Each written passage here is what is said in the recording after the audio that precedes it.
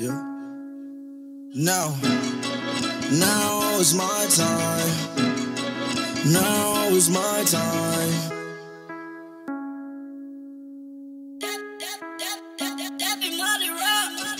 Everybody rock with me because I'm up now. Took your girl and I'm scoring like I made the touchdown. Swerving in a Lambo, doors go up, not on the bus now. Used to want a G-Shock, now I'm walking with a bust down.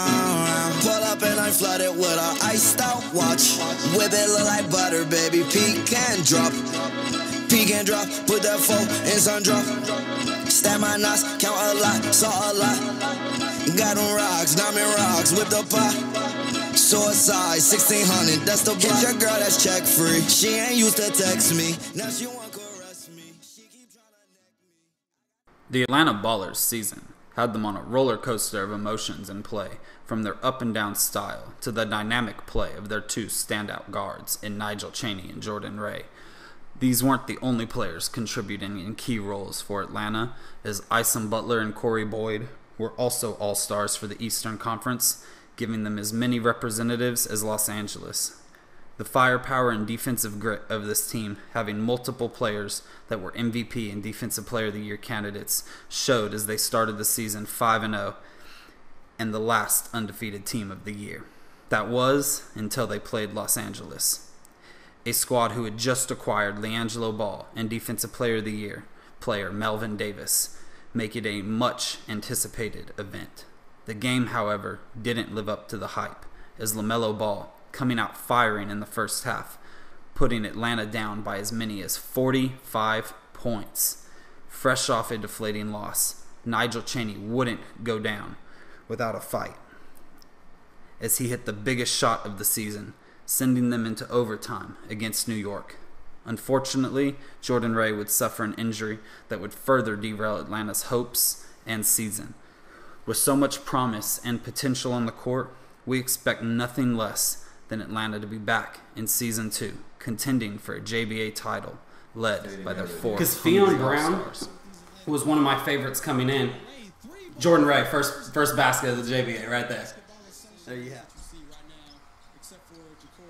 Good D, good steal. No, that's the glove. He was Oh, second. good finish. He was second in defensive player of the year voting. Did he get fouled? Yeah, Oh, okay. they call him the glove, baby glove, or Showtime Isom, Showtime Butler, Isom the glove Butler. Do it again. Lock him up. He kind of plays like uh, Patrick Beverley. Ugh, that defense though. He's He plays like Patrick Beverley, dude. He Ooh. likes. But you didn't make it, and now we're gonna talk shit. Travel. Man, they are just trying to abuse Calvin. A liability. Yeah. right? You don't want to stagnate your offense because of one player. I mean, that's what I wrote multiple times was that he Atlanta comes and goes as he does because he'll either shoot them into the game or shoot them out of the game.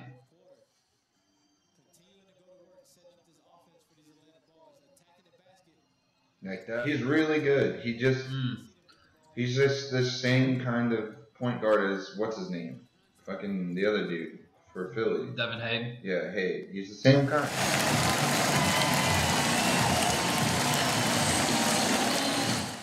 Ooh, had to take into account was they went from playing. Oh. ooh Ooh. Just missed that layup off the front of the rim. Okay, You had your whole team running. Come on, Jordan, you got that. No, There's Jordan three Ray is defenders. On this team. I want to see Jordan Hollywood Ray get going in this last six minutes and 45 seconds. Well, it's really Corey Boyd. Like he just he got hard to stop. Here he is. Like you just you gave it down to Corey Boyd. You take that two dribble, pass out to your boy Ray. Oh, that was disgusting. Got Isom Butler attacking the hoop. Oh. What is some Seattle Seahawks? Jordan Ray You never know. happens. I think they- Oh, Jordan Ray happens. That's your boy, dude. He's cold blooded. said you wanted to see Jordan Hollywood. Ray get hot, and he is starting to get hot. He's just to, to run this offense again. Oh, big jelly. Big boy, get up. Big jelly, big jam. Seconds left. I told you, fellas and ladies and gentlemen.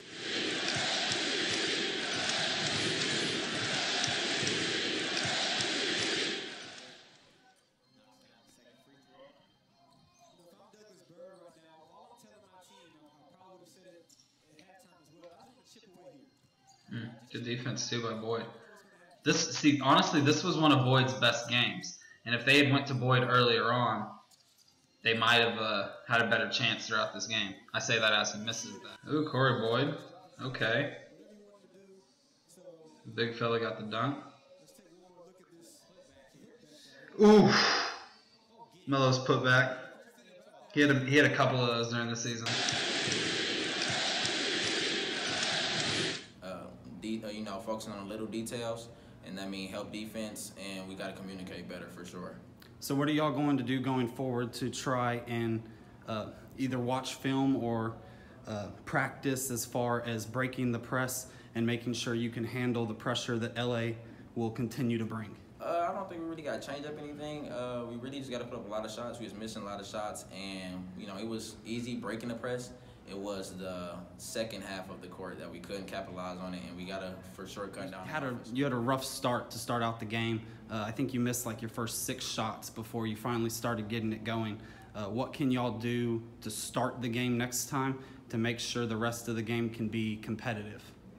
Uh, make sure the game competitive. Uh, like I said before, we really just got to knock down our shots. We missed a lot of shots uh, starting the game off, and they made a lot of their shots starting the game off. So that really threw the game off balance. But we have to make sure we keep our intensity and keep our heads up because it's a game of runs at the end. of the Yeah. I mean the second through fourth quarter, the game was pretty pretty even. It was the first quarter that was like 11 to 41 that kind of took it out of out of range. Yeah, the first quarter really hurt us, but you know, we just got to make sure we don't start the game off like that again next time we play them. All right. Thank you, Joel. All right. I'm here with the other half of the Atlanta Splash Brothers. So that game didn't go quite as y'all expected. All right. So what what can you do to make sure next time the the game goes your way?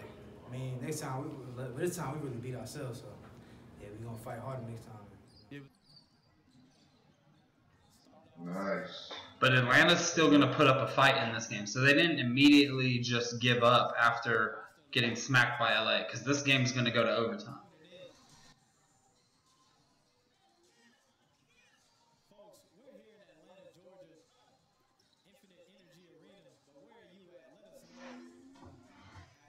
Come on. Dribbling the ball a little too long. What are you what are you gonna do with it?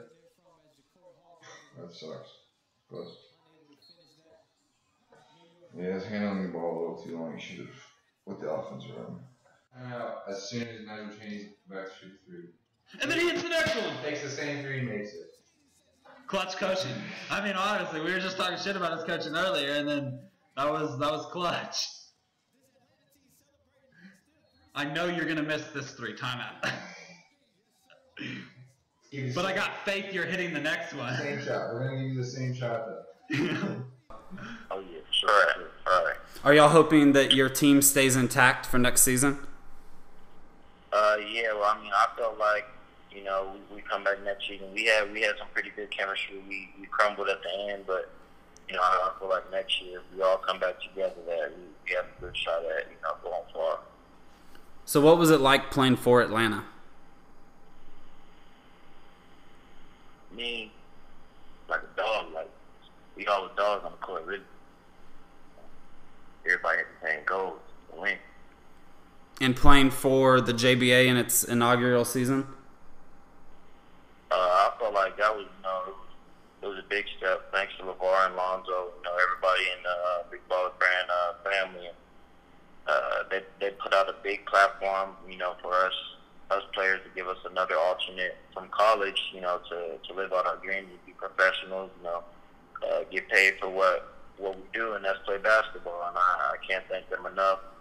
You know, it's it's one of the best decisions I've made. Goals for next season? Uh, goes next season really uh, be in better shape. You know, you know, I'm hitting the weights a lot, running, getting in the gym a lot. So yeah, really just improve overall. So is MVP something that crosses your mind? Uh, no, not really. I, don't really worry about it. I just worry, really worry about winning, trying to get to the championship. You know, the main goal. All right.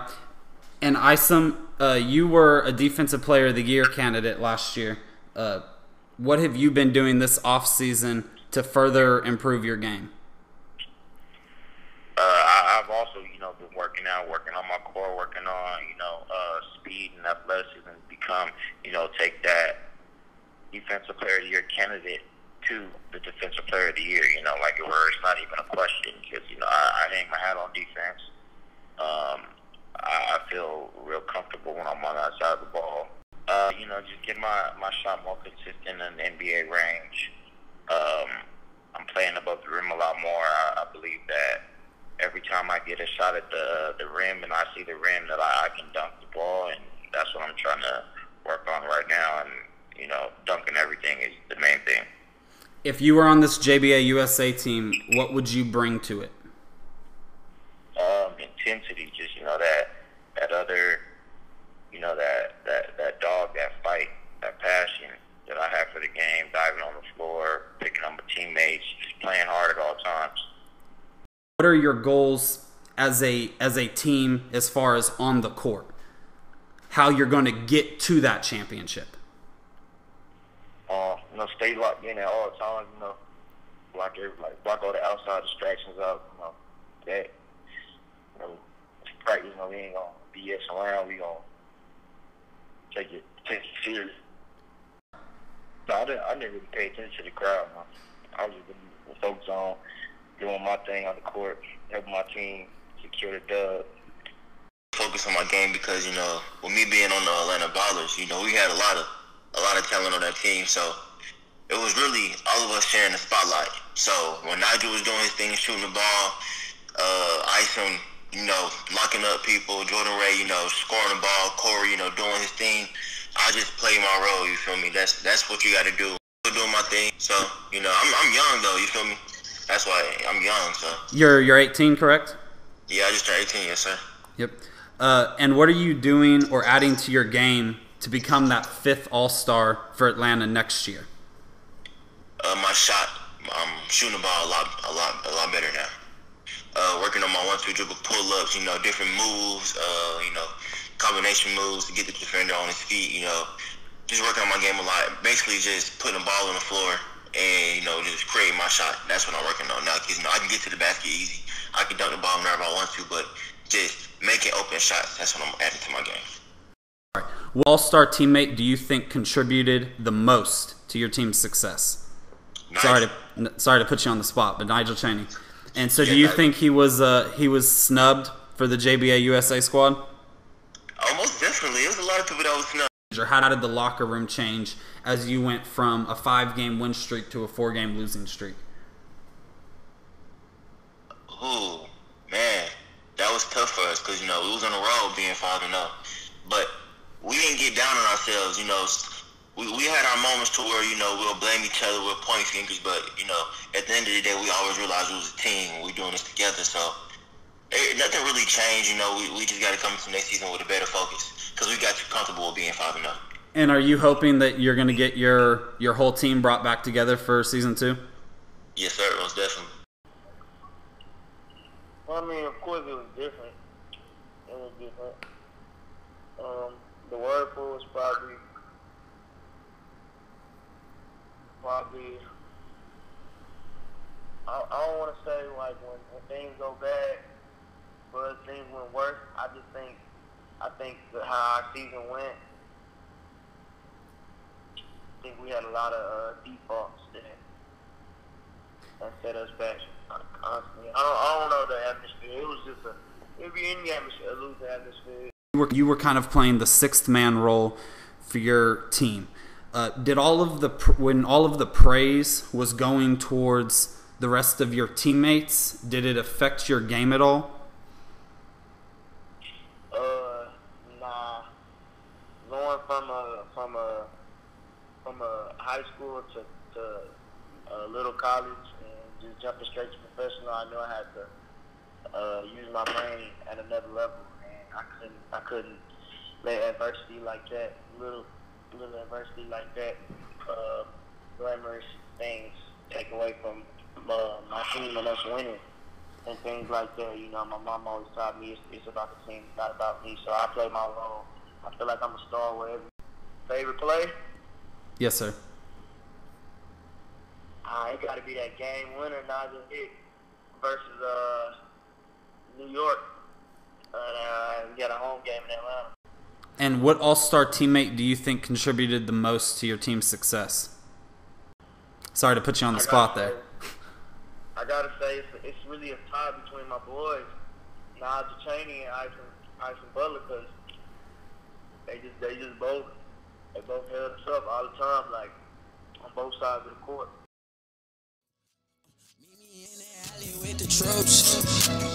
I got red shooters, I got blue. Let that thing down and point at you. Uh, Billy or the Rari, hold that you. Uh, we gon' rob the bank, bring the loot. Uh, we gon' take the boy back to school. Money on the floor just like. Uh, money on the floor just like shoes. Yeah, I'ma fuck it, that shit just swell, huh? Yeah, I'ma fuck it, that shit just swell, huh? Yeah, and I love my guns. Yeah, and I love my toes. Yeah, and I love my lose. Yeah, fuck with me and you gon' lose. Don't talk to me, just talk to my little dude. Don't talk to me, just talk to my little dude.